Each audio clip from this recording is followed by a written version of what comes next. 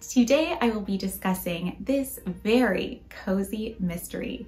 The Windsor Knot by Sophie Bennett was released in 2021, and I knew almost immediately that it would be my cup of tea.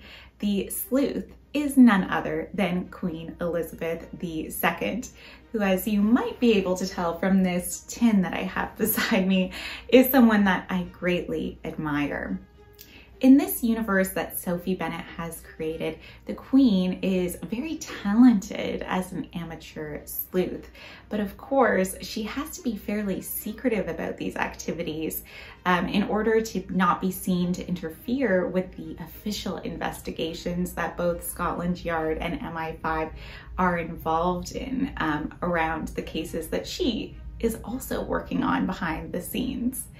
The Queen employs the talents of her spectacular assistant private secretary, uh, Rosie, in order to obtain information that might be challenging for her to source herself, given that she is not only um, very scheduled, but also constantly under the watchful eye of her beloved staff. Uh, the queen also has a very unique perspective, of course, given that she tends to see things that others might not due to the access that she has to various top secret files and of course events that she is able to organize. So all in all, it makes for a very intriguing premise. And um, having watched a really interesting um, interview that Sophie Bennett um, did recently with Murder by the Book on YouTube, which I'll link below.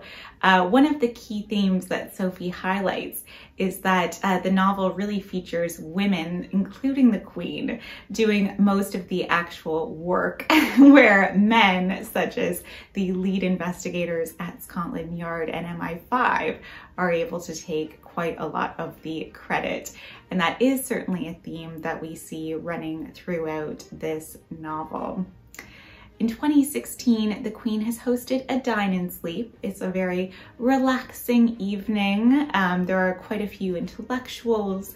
We learn that Prince Charles specifically requested that a few members of Russian society attend this particular event, and the Queen has obliged, always trying her best to support her family when she can.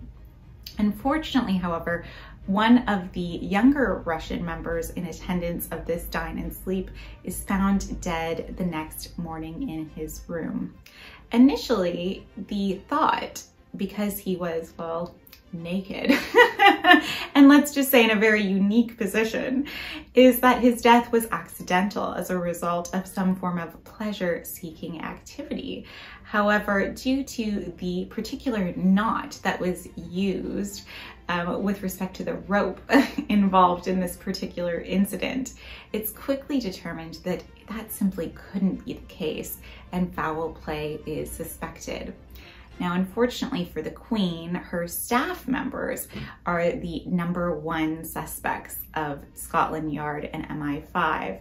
And unfortunately, that puts many of them under suspicion, which the Queen finds to be absolutely appalling. She knows her staff exceptionally well, and she very much values their loyalty and becomes concerned that if Scotland Yard and MI5 are not able to resolve the case very shortly, members of her staff could become disgruntled and feel as though they are not being adequately valued by the royal family, which is absolutely not the case.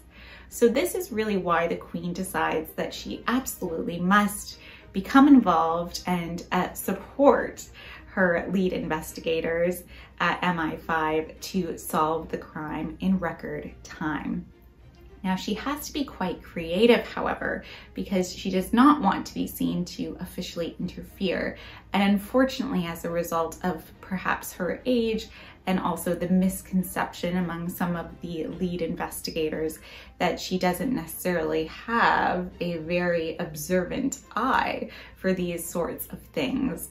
Uh, the queen knows that she would not have much credibility if she was to try to officially interfere.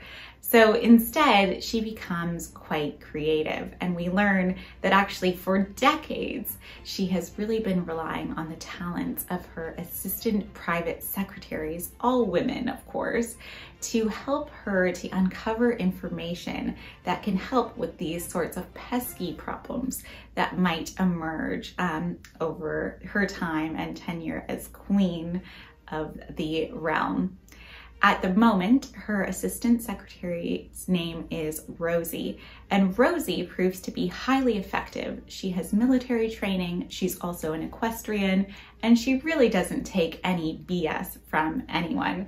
So Rosie quickly emerges as just a fantastic sidekick uh, to the queen. She's really able to speak her mind, whereas of course, unfortunately the queen is not, just given her particular status.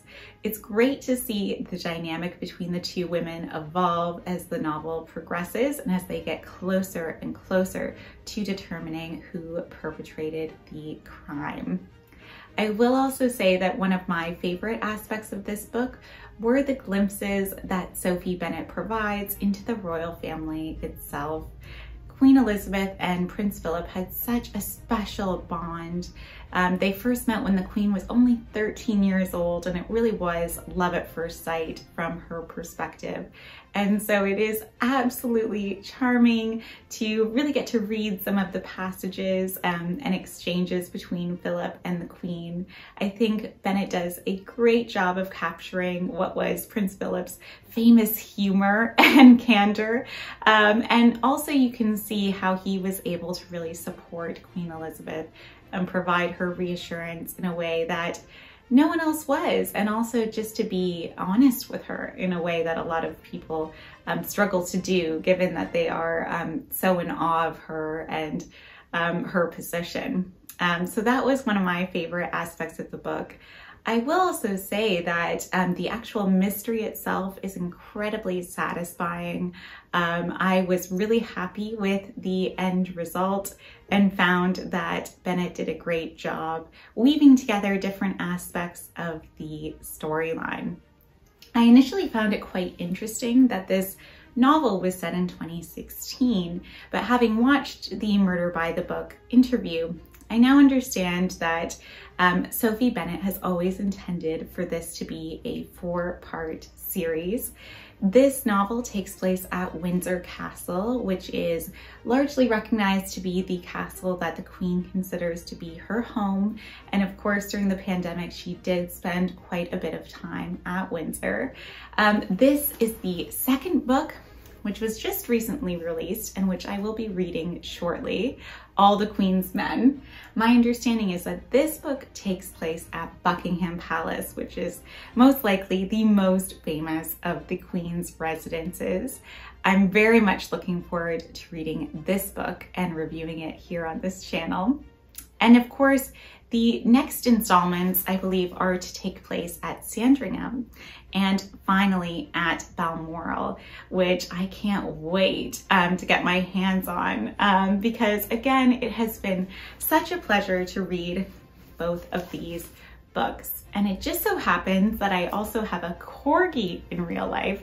And I have to say that the corgis always managed to steal the show with the Queen's little corgis Candy and Willow um, really doing their best and being very peevish when it came to um, poking the investigators who weren't exactly fans. so if you are a fan of the Royals and if you are a fan of cozy British mysteries, I would absolutely encourage you to run to pick up a copy of The Windsor Knot and I will absolutely update you once I've read All the Queen's Men. Thank you so much for joining me. I really appreciate your time and hope to see you again soon.